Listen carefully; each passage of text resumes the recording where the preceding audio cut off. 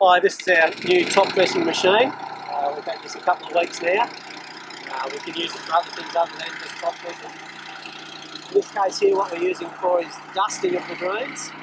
Uh, dusting of greens has been around for a number of years now. Um, there's going to be a link added to this to this uh, thing to, to show what uh, if you want to have a look and go further into the, the process. Um, so what dusting actually does for us here is the sand mixes in with the thatch, so that way it's not as, as spongy, uh, and the water will get through, the nutrients will get through, uh, the ball will roll a lot better. So there's a number of benefits of, of keeping the thatch layer down, uh, and this, this method has been around for a number of years now.